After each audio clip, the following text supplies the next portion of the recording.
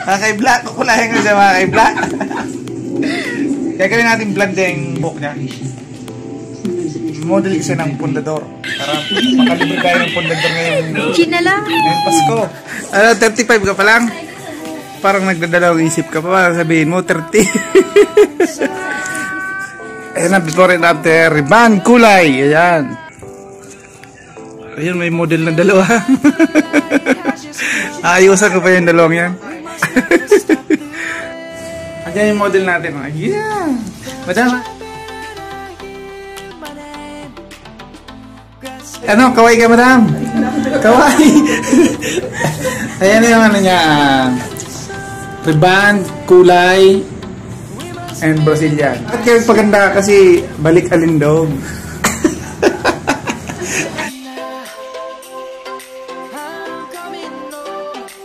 Ayan, ayan, ayan. Ayan na yung pangalawa nating model. Ito model to ng Tandoy Ice. Ah, di ba? Kanina ano, itim na itim buhok niya. Kapag may kabayo.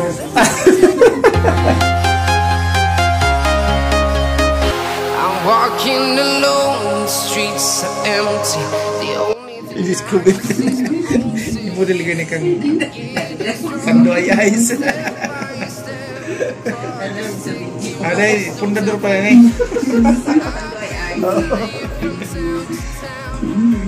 Ayun na, pam. Mga kaibla, kukulayan ko siya mga kaibla. Kaya gawin natin blonde yung buhok niya. Model siya ng pundador. Para makalibre tayo ng pundador ngayong China lang. ngayong Pasko. Ito, ah, chocolate, tapos kape.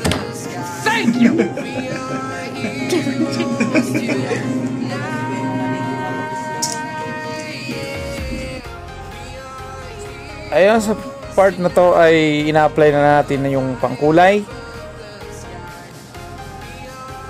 Siyempre, uh, ihuli natin yung root. 12% ang ating gamit. Uh, 1 inch away from the root. So, ibabad lang natin hanggang ma-achieve yung kulay.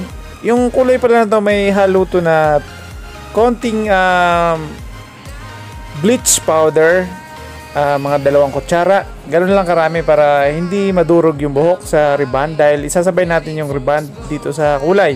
After kulay, ribbon na tayo. Ayan po mga kahibla. Yung mga kaysa, kinukulayan natin yung ano, ah, pangkulay sa aso.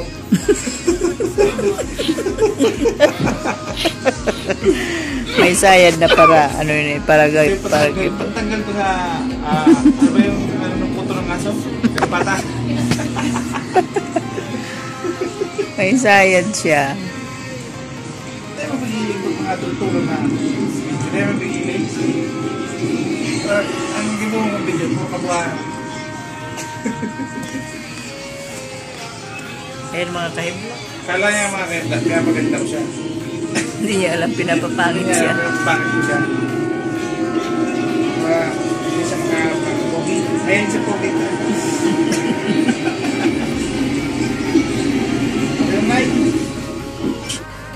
Ito na yung result ng kulay na 10.0 and dalawang kutsarita na bleach powder.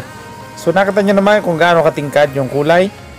Pagkatapos ito ay apply na natin ng number 1 rebanding with um, cream silk. Ihalo natin yung cream silk sa pang-reband.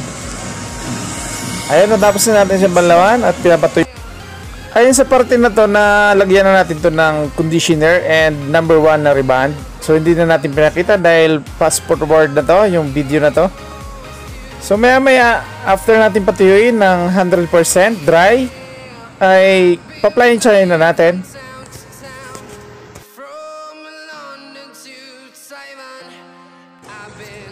Alright mga kaibla, natapos na nating banlawan at sa part na to ay pinaplansya na natin yung gamot na number 1.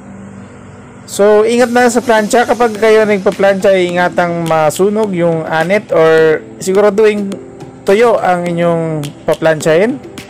Huwag kayong magpa-plancha na ang buhok ay medyo basa pa dahil mapapaso lang ang inyong customer. Siguradong magagalit at hindi na kayo babalik-balikan. Kaya naman palagi nating iingatan yung customer para balik-balikan tayo at mag ano pa sila, magbigay pa sila ng ibang client sa atin. Mag-refer pa sila para dumami pa ang ating client sa kada buwan.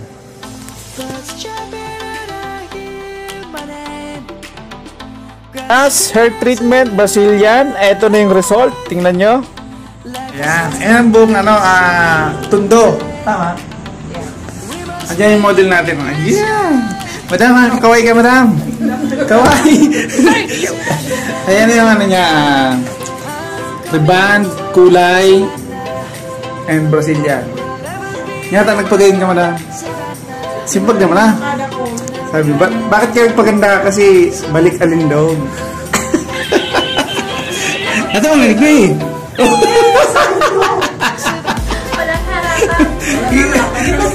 Halika doon lang. Ay, na, okay na. Ika naman. Ay, ganda.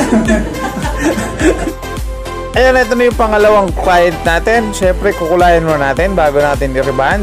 Ayan, yung part na yan ay nagkukulay na tayo. Bakit la? Nagkukulay na tayo. Nagkukulay na siya. Gagawin itong model ng ano, ah, tanduay ay, ano, tanduay eyes. Ako pang ginawang taga-bigyo, mga kahibla. Ito yung model ng tanduay eyes, ano, ah, blonde yung kulay ng buhok.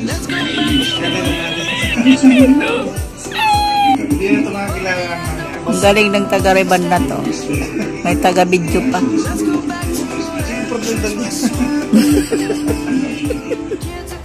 Ayun na apply na natin yung root ng 9%.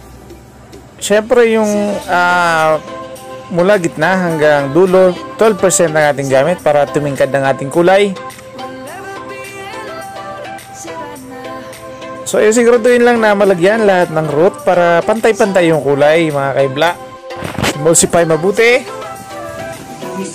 No, ayan mga kam- kahibla. Kaya mga kaibla, kulay blue na ang ating ilalagay. mamaya magbo-blue na ang buhok niyan. Ito mo mas buhok niya. Blue na mamaya yung buhok niyan. Na. Ito ang ating gamit, mga kaibla. Ito. At ito. Mimix natin. I-apply natin sa may kulay na buhok. Ayan. Na.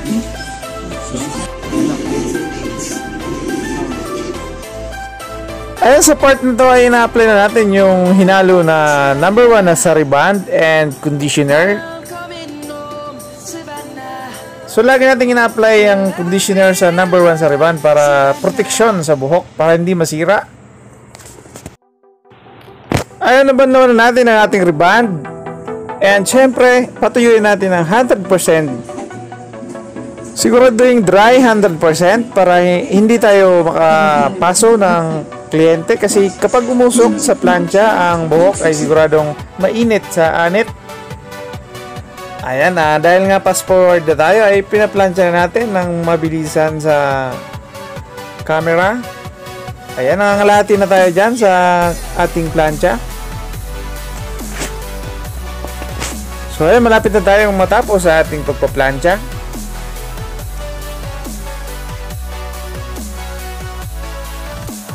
Ayun mga kaibla sa part na to ay ginagamit na natin ng iCure na Brazilian. Palagi akong gumagamit ng Brazilian lalo na kung galing sa reband and hair color para protection at always shiny ang buhok and glossy. Ayun mga kaibla, uh, siguraduhin natin na maganda palagi ang result ng ating gawa para balik-balikan tayo ng client. Ayun pa paano ba alagaan ang buhok? Una, huwag kayong magkukulay ng sarili o kayo-kayo lang.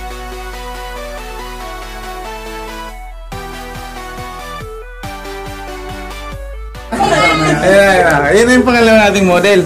Ito model to ng Tandoy Eyes. ah, di ba?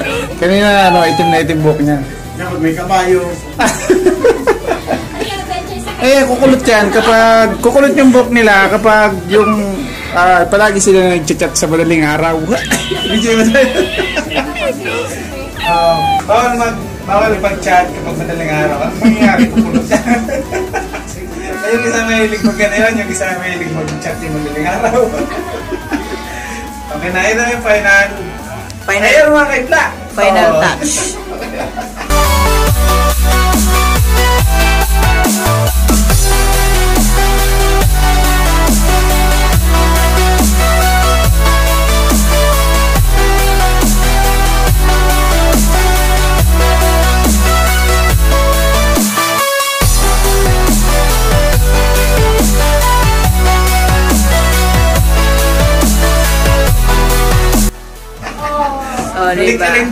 dog program.